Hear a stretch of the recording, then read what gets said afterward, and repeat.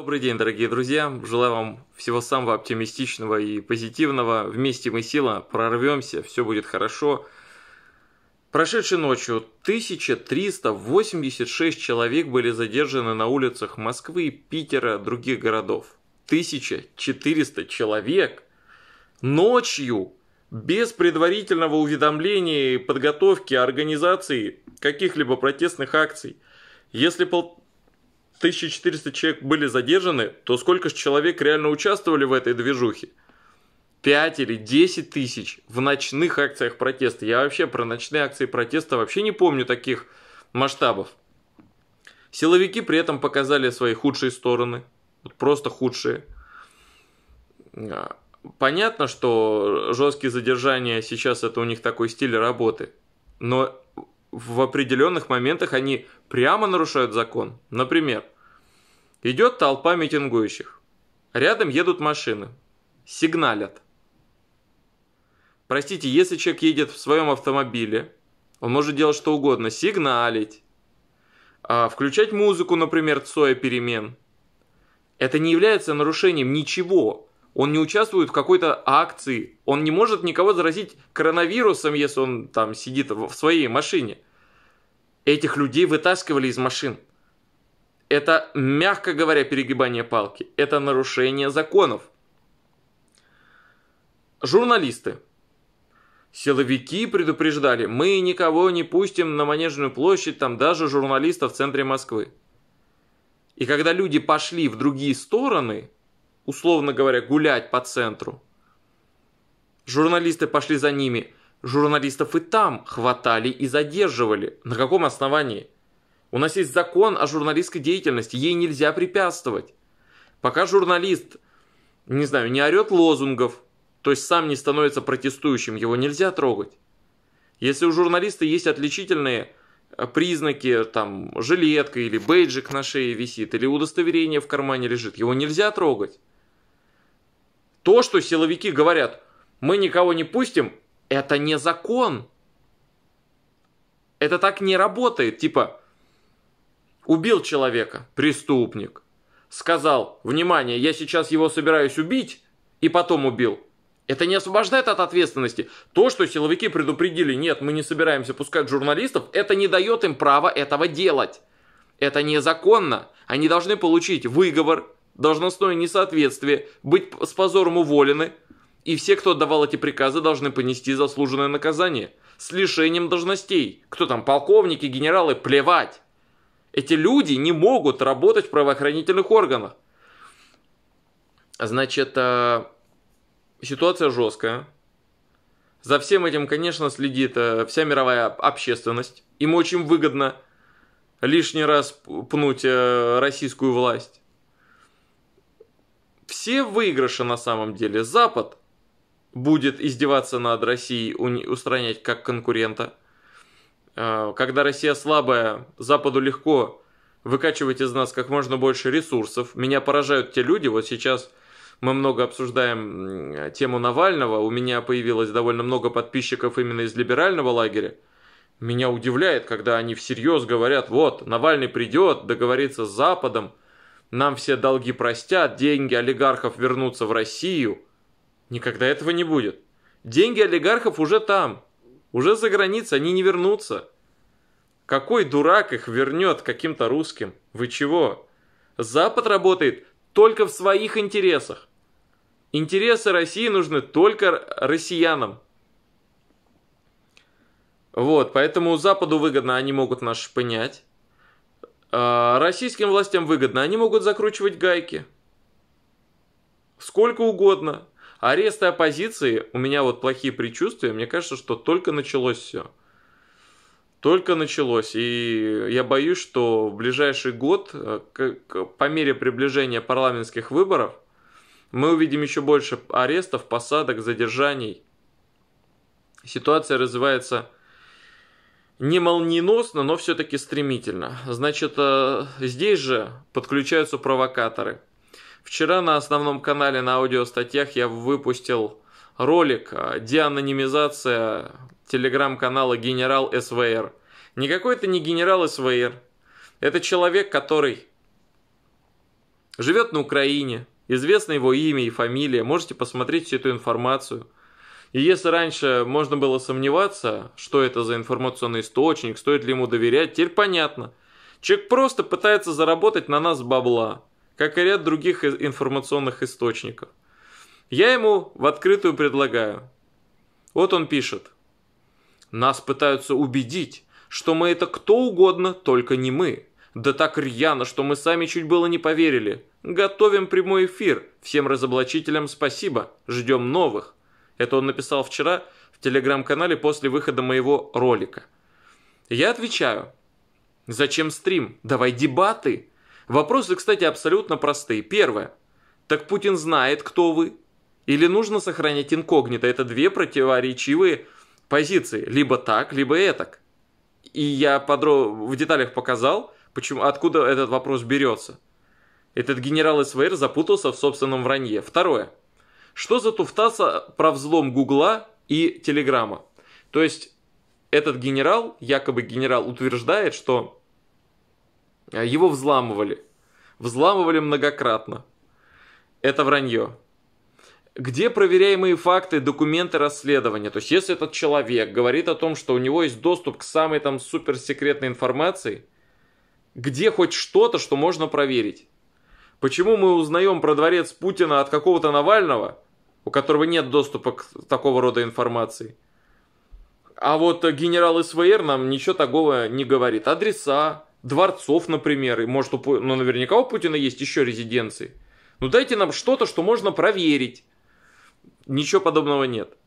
Почему кошелек для пожертвований был зарегистрирован на украинские паспортные данные? И, наконец, зачем такому великому генералу обращать внимание на разоблачителей, на мелочь пузатую типа меня?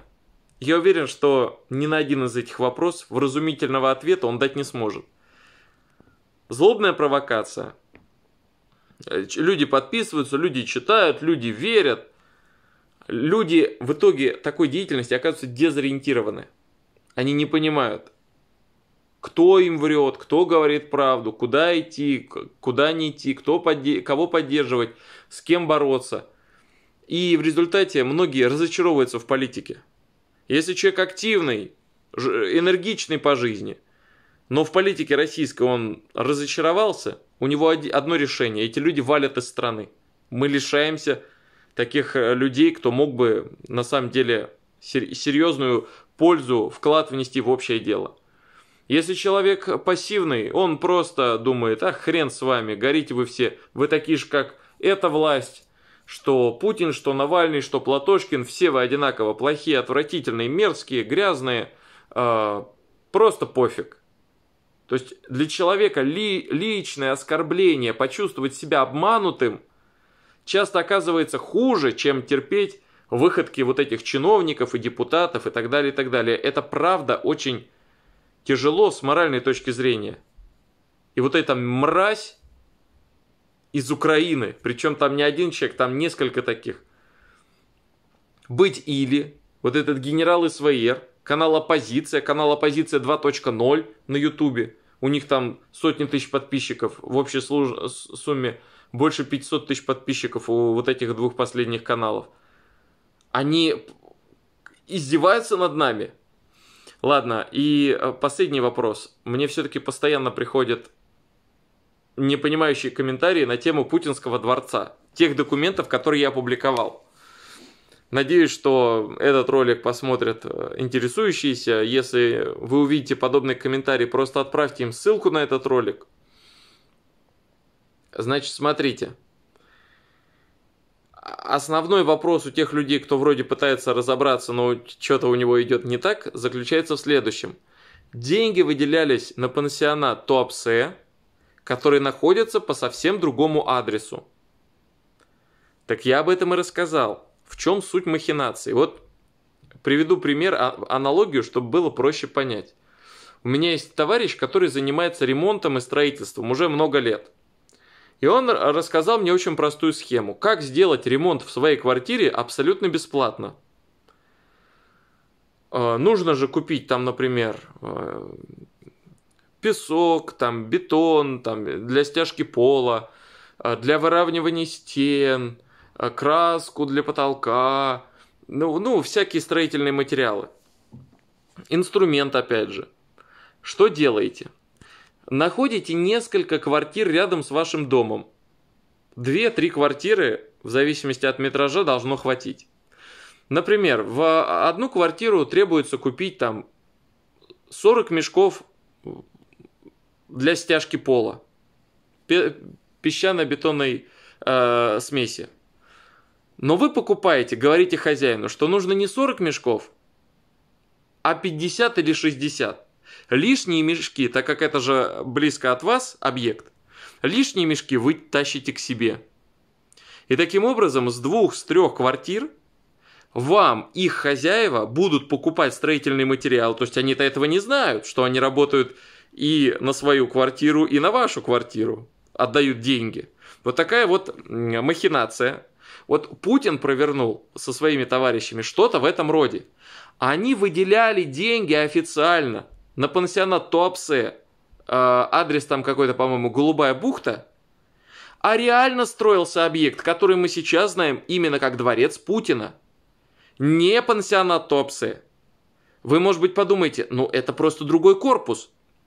То есть понятно, что, может быть, это как филиал построили, но нет. Есть много других признаков, которые говорят именно о том, что это попытка скрыть истинное назначение объекта. Потому что пансионата там не построено. И почему-то этот пансионат был передан в частные руки, как сейчас оказывается уже у Ротенбергов, что по тем документам, которые я, опять же, представил, инвестиционному соглашению не клеится. Вот, вот в чем объяснение. Деньги выделялись на реально существующий пансионат Туапсе. Некоторые люди мне присылают ссылку на сайт этого пансионата. Но фишка-то в том, что это другой адрес. Вы дали деньги на ремонт одной квартиры, пансионата Туапсе, а отремонтирована была другая квартира. Дворец Путина построен. Вот эта простейшая махинация на 2,5 миллиарда рублей официальных бюджетных денег. Сколько уж туда вбухали еще олигархи, можно только догадываться. Возможно, что и цена в 100, в 100 миллиардов вполне реалистична. В, в, это, в этом плане очень забавно еще и познавательно послушать интервью э, Рыбак, Рыбакова. Есть такой у нас э, миллиардер, который, в отличие от всех этих Ротенберга, Тимченков, Усмановых Абрамовичей, на самом деле создал свое производство, вот это Кровли, Технониколь, и он э, довольно известен на Ютубе, и он поэтому апарт-отелю, как его охарактеризовал Ротенберг, высказался очень четко и понятно. Он говорит, апарт-отель, сколько там номеров? 16, там же спален-то совсем немного. 16 номеров, если одна ночь в таком месте будет стоить там миллион рублей, а еще лучше миллион долларов, тогда, может быть, это окупится. В противном случае это невозможно. Это убыточный, катастрофически убыточный проект. Это не апарт-отель. Они врут. Даже с точки зрения бизнеса. Не с точки зрения документов, а с точки зрения бизнеса. Там невозможно вести бизнес такого рода. Друзья, ставьте лайки, делайте репосты, подписывайтесь. Будем следить за развитием событий. До новых встреч. Пока.